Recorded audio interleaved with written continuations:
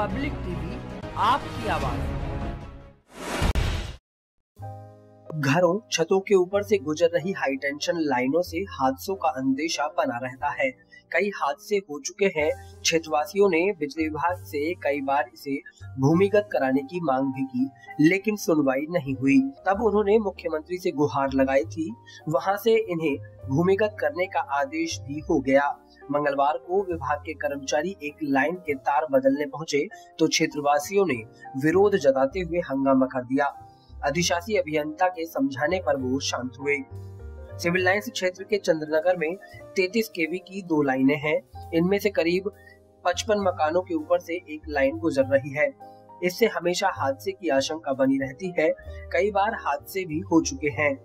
इसके अलावा 33 केवी की दूसरी लाइन भी मोहल्ले के बीच से गुजर रही है। चांदीराम मंदिर से लोकोशेड बिजली घर तक जाने वाली लाइन। नगरीय विद्युत वितरण खंड प्रथम के अधिशासी अभियंता प्रमोद गोगनिया के अधीन आती है, जबकि दूसरी लाइन टाउन हॉल को जाती है।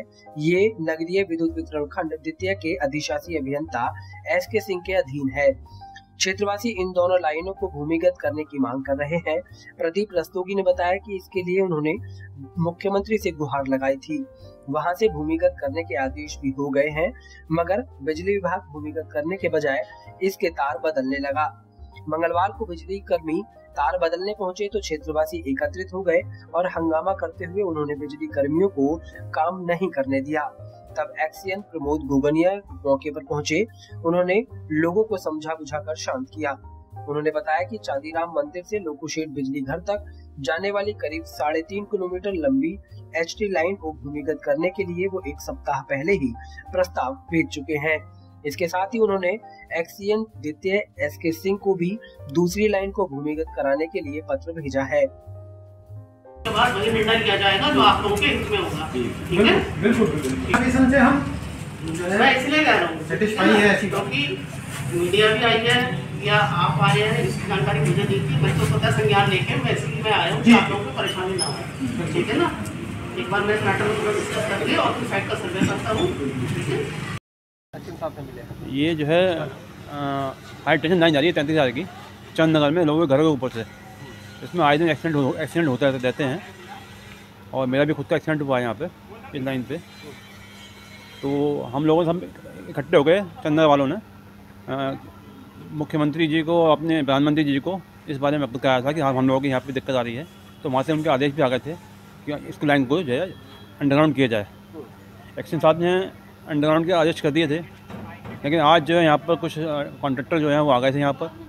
और उन्होंने जाके ओपन ताज पड़े हुए हैं उसी को करना शुरू कर दिया। अंडरग्राउंड नहीं कर रहे थे वो लोग। हम लोग सब लोग इकट्ठे हुए और आकर इनसे हमने जो है बात की बिजली घर पर। एक्शन साहब भी यहाँ पर आ गए हैं। तो उन्होंने कहा ठीक है हम देखते हैं। आश्वासन दिया। उन्होंने कि जैसा हुआ हम अच्छा होगा आप लोग वही हम वही करेंगे। हम सर्वे करेंगे। काम रुकवा दिया। हाँ फ़िलहाल कह रहे हैं हमने काम रुकवा दिया। काम दिया है कि हम उसका सर्वे करेंगे। सर्वे करने के बाद जो पब्लिक के हित में होगा वही कार्य होगा। जब मामला क्या था? पूरा मामला क्या था? क्या, क्या हुआ था?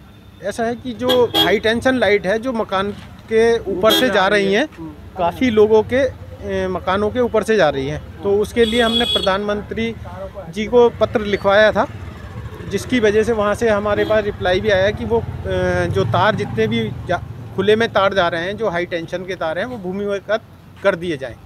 वहाँ से लगभग आदेश आ भी गया था और उसी के सिलसिले में आज जो है वो यहाँ पर वो तार बदले जाने की प्रक्रिया शुरू हो रही थी जिसे जिसके विषय में हम यहाँ जई साहब से और मिलने आए थे तो इत्तेफाक हुआ कि एक्शन साहब भी वहीं आ गए और उन्होंने आश्वासन दिया है कि वे जो हैं जो भी पब्लिक के हित में होगा वो करेंगे और वो कहा है कि मैं सर्वे करूँगा उसके बाद में। स्मार्ट सिटी में सब लाइनें सिटी के अंतर्गत ये सारी लाइनें भूमिगत होनी है और आपका क्षेत्र भी उसी में ही है तो वे जो हैं उसमें उन्होंने ये आश्वासन हमें दिया है संतुष्ट है आप सब लोग? जो एक्शन आप कह रहे हैं उसके हिसाब से हम संतुष्ट हैं और हमें आशा है कि वो हमारे जो कार्य है वो सही से कर देंगे जिससे हम लोगों को परेशानी ना हो।